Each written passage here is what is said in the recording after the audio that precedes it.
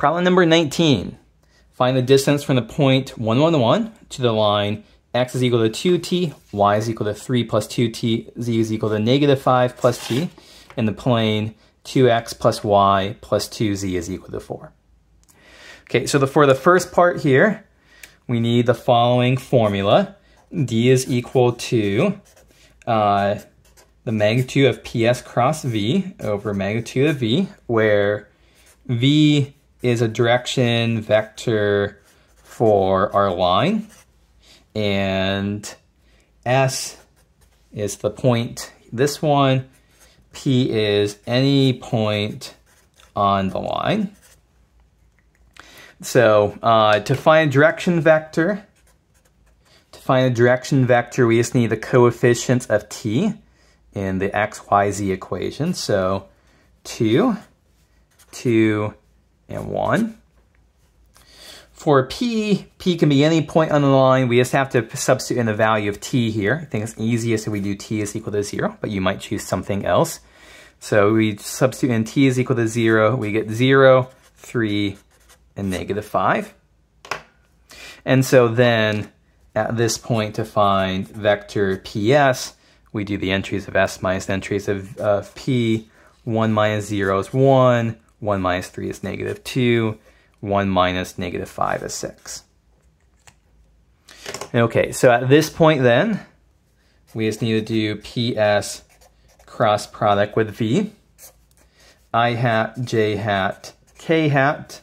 PS is 1, negative 2, 6. V is 2, 2, 1.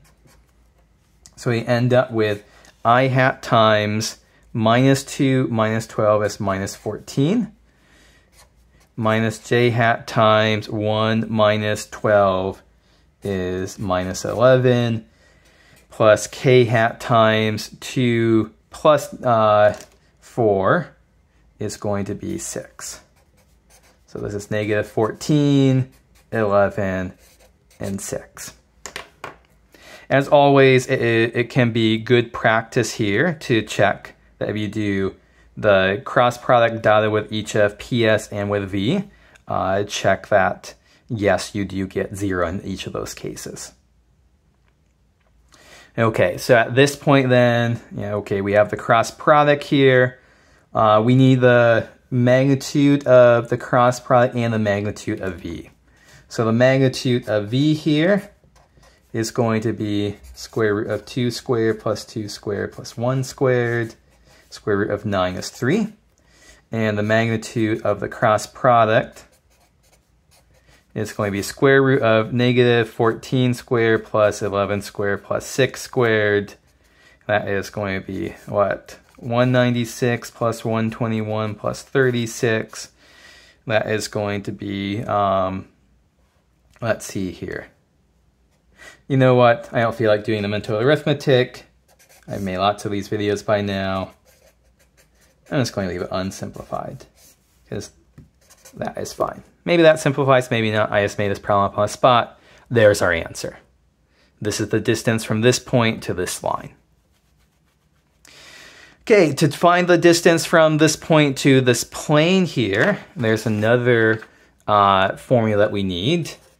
d is equal to, the distance is the absolute value of direction of ps dot n, all of that divided by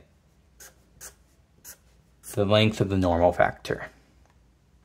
So in this case, um, n is the normal vector to our plane, and we find the normal vector just by reading off the coefficients here of x, y, and z, 2, 1, and 2. P uh, can be any point on the plane. I'm just going to plug in, if I make x and y both 0, I make x and y both 0, 2z is equal to 4, that is z is equal to 2. You could, you could have picked many other points on the plane. I just had to pick one. Once again, s is the point 1, 1, 1. So a vector from p to s is going to be um, 1, 1, and negative 1. Okay, so now we need the dot product here of PS dot with N, and so that's going to be 2 plus 1 minus 2 is 1, and the magnitude of N is going to be 3. And so our final answer is the absolute value of 1 over 3, which is just 1 third. So the absolute value bars are there because um, it's possible that like the dot product ends up being negative, but we don't want there to be a negative distance. We want the distance to always be positive. Okay, so that is how we do problem 19.